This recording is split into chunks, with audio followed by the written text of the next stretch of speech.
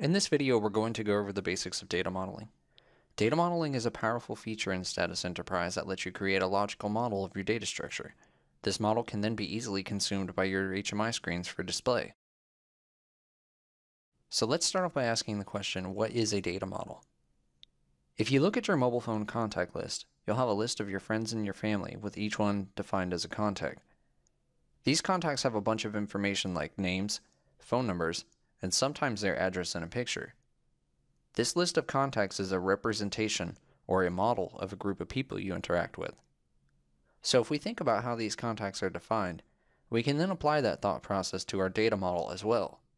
The contact is a type that has properties like name and phone number, while each person listed is an asset in our model. So, what makes data modeling so beneficial to your HMI solution? Data modeling allows you to become much more efficient with your data since you're not binding directly to your process hardware. Instead, you're binding to a logical representation of your data. This allows you to not only organize everything in a way that works best for your company, but it also allows you to have much more control over how the data is being used. There are many more benefits of using a data model as well.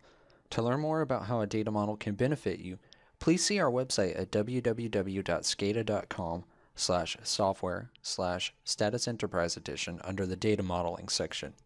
There's also a great white paper we've written called Do You Data Model listed under the resources section of this URL as well. I'm going to open the model designer and connect to the enterprise server now. By default, you'll be connecting to the local instance of enterprise running on your computer. The default credentials to log in are administrator and no passwords, so I'll click the connect button and wait for it to log in.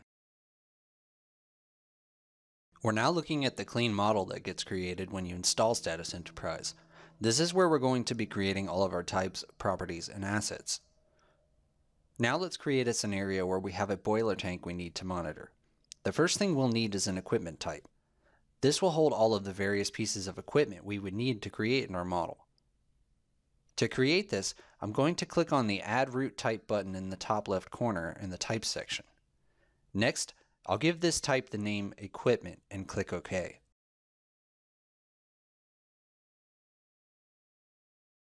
Now that we have our base equipment type, we need to determine if there's any properties that we need to add to this. Any property that we add needs to be generic enough to be used in many places, like an asset tag, for example. An asset tag would be a unique ID for each piece of equipment. This could be the model number or some other naming convention you've defined. Let's add this property to the equipment type now. I'm going to click the Add Property button and then use string as the data type for this property. I'll then name this property Asset Tag and click OK.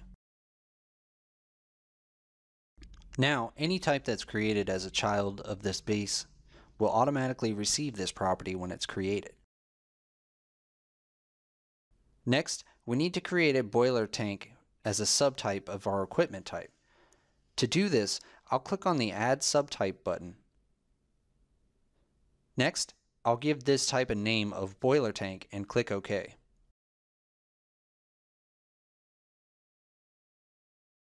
Now that we have our boiler tank type, the next thing we need to do is to figure out what properties we need to see on this tank.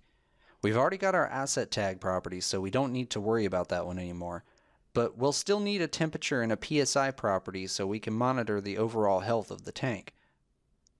Let's add these properties to our type now. To do this, I'm going to click on the Add Property button, then select Double as my data type and click OK.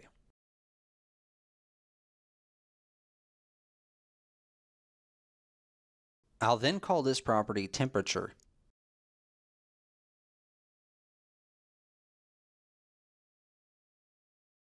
Next, I'll add my second property by clicking the Add Property button and also choosing Double as the data type. I'll call this property PSI and click OK. Now we can set the default values and ranges for these properties. The default value acts like a sample piece of data. It will give you an initial value if requested. The range allows you to set thresholds for what's considered a normal value. For example, if this temperature on the boiler tank should be between 200 and 300 degrees, I can then set 200 as the low and 300 as the high, and if for any reason the temperature value crosses either of them, I'll then know that something's wrong with my process. Now I'll set the default value for the asset tag. I'll enter tank001 as the default value. Next, I'll set the PSI default value to 150. I'll set the low to 115. And I'll set the high to 175.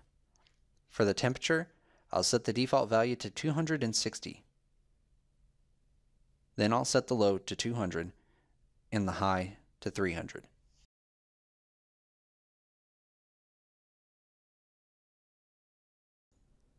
Now we can begin creating assets. To do this, I'll click on the Assets tab.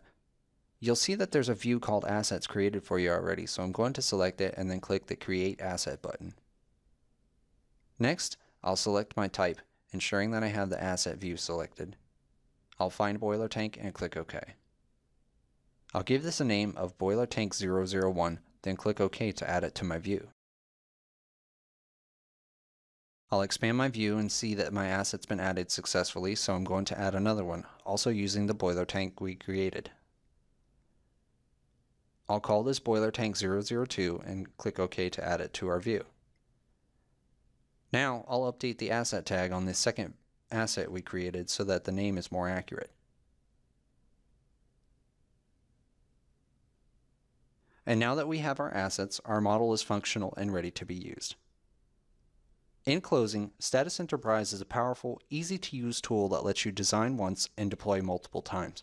For more information about Status Enterprise and data modeling, please visit us on the web at www.scada.com.